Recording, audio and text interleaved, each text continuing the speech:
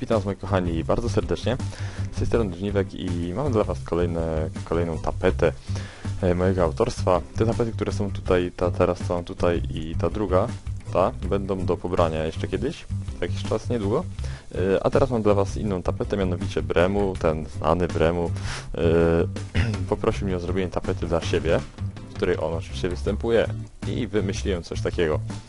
Myślę, że jest całkiem w porządku i na pewno się co niektórym spodoba, może nie wszystkim, ale myślę, że, że dużo osób doceni, e, bo troszkę czasu zajęło, trzeba przyznać i efekt jest całkiem, całkiem.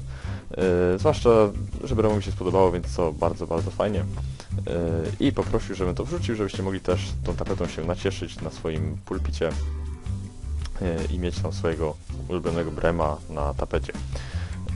Także, żeby się streścić, to było na tyle. Jeszcze rozdzielczości, oczywiście linki w opisie do pobrania, żeby nie było wątpliwości. Rozdzielczości to jest Full HD, e, czyli 1920 na 1080. E, Później mamy 1440 na 900, czyli taki jak mój monitor. Później mamy 1280 na 720, czyli HD. e, I jeszcze tak dodatkowo 1280 na 1024 e, dla tych takich kwadratowych monitorów 4 na 3 e, bo tam chcieli tam na starszych monitorach niektórzy i, i po prostu, wiecie, żeby im pasowało tak bardziej kwadratowo, to troszkę będzie pewnie ścięte, no trzeba tak już- jakoś to ustawię. No także muszę się dogadać, bo chwilą, nie wiem, coś z Camtasem się dzieje, krótki materiał i ona ucina mi, mi końcówkę wideo. E, także no, nie spodziewałem się szczerze mówiąc, że, że Bermo odpisze, okazał się naprawdę bardzo w porządku. E, no, zajebiście, no, no naprawdę nie, nie spodziewałem się czegoś takiego.